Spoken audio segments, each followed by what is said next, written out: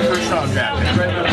Yeah, there's a lot of people still left. Even when it got all the way back down How many teams were there? Eight?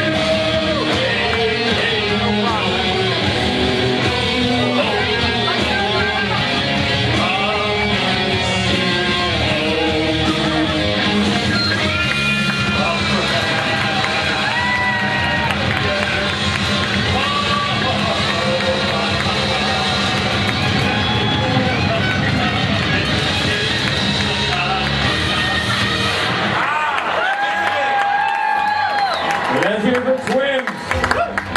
Nicely done. Dirty socks, that nice.